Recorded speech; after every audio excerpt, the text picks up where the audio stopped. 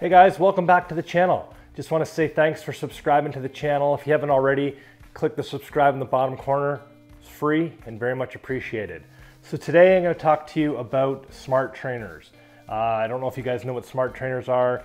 You probably do, but just in case you don't, there's something like I have here. This is the Saris H3 Smart Trainer. It hooks up, you hook up a cassette to it and hook your bike up to it and it conveys information to a computer or your phone via Bluetooth and can uh, you can basically monitor your speed and power output. Super slick uh, idea and uh, really pumped that I have the opportunity to test out this Saris H3 trainer. Uh, we got the Kobain finally built and it'll fit on here nicely. The Roscoe with the Boost 141 rear axle could not fit on here. So this again, like I said, is a Saris H3 smart trainer. So basically you're just gonna go ahead and we're gonna, I'm gonna show you how we're gonna put a cassette on this. So this does have uh, end caps, like I said, it comes from the factory when you first get it with it, it'll fit for a 135 rear axle. So we can convert that. We can just take these out and then replace them. They, they send some uh, different end caps there's the Boost 148 ones that we're going to use, and also some of the other standards if you have like, uh, I guess, what a 12 by 142 or something like that. So you are going to need a 5 millimeter Allen to remove these end caps off of here. They just screw off. Screw that off of there. Same with this side over here.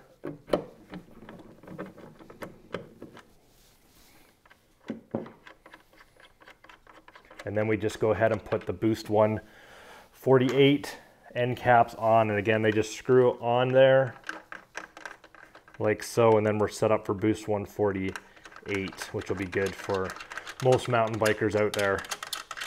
So now we're gonna go ahead and put a cassette on here. So set this down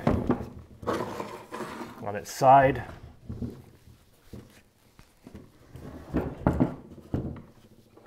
Now we can just go ahead and put this cassette on here. I just have a an old Sunrace cassette that I had here. So I'm just gonna go ahead put that on just like you'd put on any regular cassette. So yeah, I'm wanting to do an enduro ride or enduro race this year, at least one enduro race. So getting on this trainer early in the season, I think will be really helpful. I know in past season it feels like it's the end of the year when I finally get in half decent pedaling shape and then the season is over.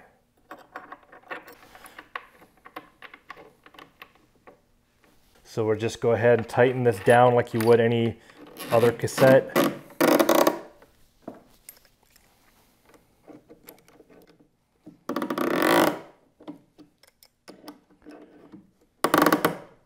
And it's good to go. All right, so we got that on there now. Just showing this, how this, this uh, trainer, it's got some cool, got these little arms that swing out the sides here. It'll be, keep this nice and stable on the ground, plus a little tray for your front tire. So I'm gonna go ahead and put this down on the ground. We'll get the bike on it. I'll show you how you get the bike on this. So I'm just gonna set this down on the ground this way. I'll just, this way I can show you how we get the bike on to this and then I'll switch it around because it'll be better facing this way for what I'm actually going to do here. But let's get, uh, we'll get the rear tire off the bike and then transfer it over to here.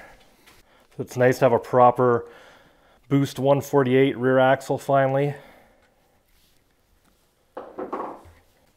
Okay, so then we can just put this on here now.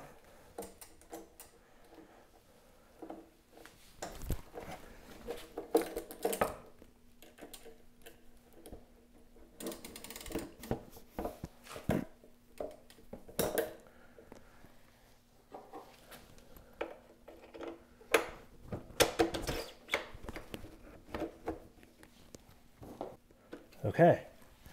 Now one thing I will note here that you will want to do is put in a little uh, disc brake spacer.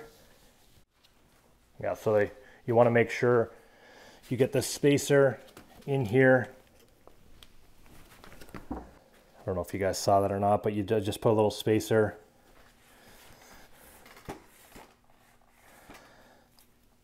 You guys see that there?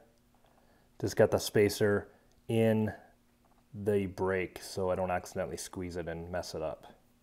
One other thing I will note when I'm doing this training, uh, I just started this a week ago, so I'm not an expert at any by any stretch of the imagination, but I've been using clipless uh, pedals for the trainer. I just think using clipless pedals on the trainer makes a lot more sense than flats for training anyways, and I had these anyways, so just thought I'd mention that, that I'm gonna be using clipless on here. So this is the setup I'm going to be running. Um, basically, my laptop just hooked up to an external monitor in front of my bike. I'm going to be running Zwift. So we're just getting Zwift loaded up here. Got our laptop and monitor and the bike all ready to go. So once the, this fires up, the trainer the light should be blue and ready to go. One thing I will show you guys here while we're waiting, I got this quad lock. Actually, I've had it for a long time, uh, but I got a new case for my phone uh, that'll match my new phone. So now I can put uh, my phone on here and Zwift has a companion app that you can load. And just make sure you actually load the companion app and not the actual Zwift app you can run Zwift on your phone, but in this case, we're just going to run the companion app on your phone. And it's nice just to have quick access to uh, some commands on your phone while you're doing this here. So there we go, connected to the power source, cadence, and controllable. It's all should be connected and we can continue on now. So when you're in Zwift for the first time, a couple different options. Um, you have London or Watopia. I think sometimes it'll allow you to choose New York as well. I like Watopia myself. You can just, I like to just jump in and do a route. You can just pick something easy. I'll just pick something easy here just so I can show you guys how it works. We'll just do like this volcano circuit. It's only four kilometers, but it'll show you guys how this all works. So the companion app, you can basically, it'll just load up the map and everything on here for you. So it has some controls on here and you can view your progress and your and your uh, power and everything as you go. They are do have some training uh, stuff you can do, but I think just to jump in doing a route is the easiest thing to do.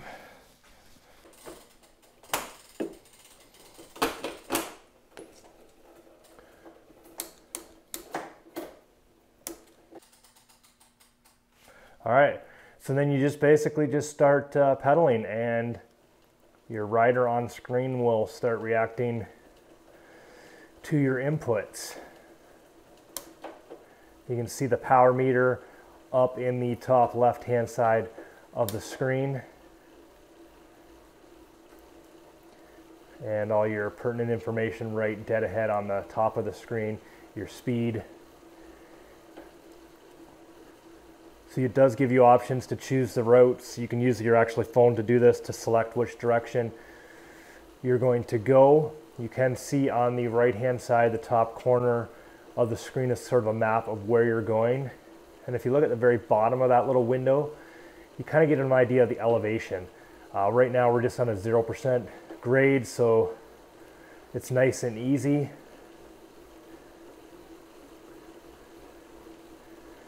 You will notice with most mountain bikes, 11 speed mountain bikes or 12 speed mountain bikes, whether you know a 10 or 11 is your highest gear, that you might spin out a little bit easy on a mountain bike. It's not maybe designed perfectly for training, but it's all I have and it'll have to do. So this is just giving you guys sort of a quick rundown of how Zwift works. I know the first couple times I was on here, I wasn't really sure what I was doing. Still have lots to learn, but uh, I've done a few rides now, so a little bit better understanding of how this all works. So looking forward to getting the legs warmed up and ready for the season instead of uh, coming out in the spring and being super out of shape. So this is a pretty flat route we're. But again, just wanted to do a quick route on here to show you guys what it's all about. See if I really get into this, I spin out pretty easily. Like I can't really do much better than that.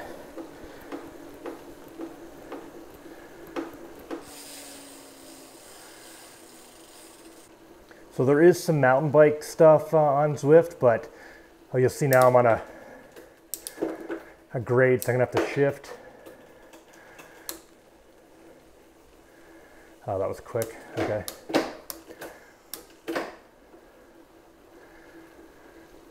But there is a mountain bike course on here somewhere, but you need to get to level 12 before that's unlocked, and I'm only on level 5, so You can even coast downhill.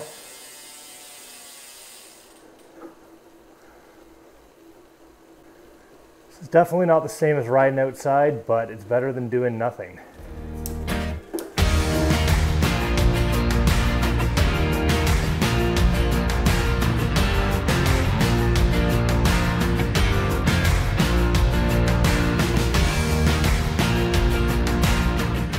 All right, guys, so that was just a quick video showing you guys sort of an introduction to smart training and using Zwift.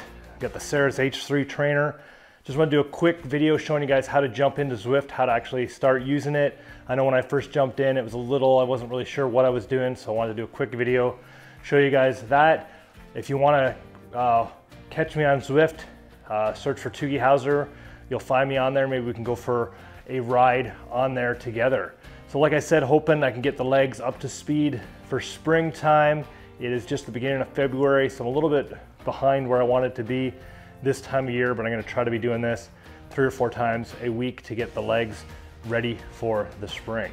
So guys, thanks for watching. Thanks for subscribing to the channel. As always, hit the subscribe down in the corner if you haven't already. It's free, very much appreciated. Lots coming for you on the channel this year, so stay tuned. And as always, keep your feet on the pedals.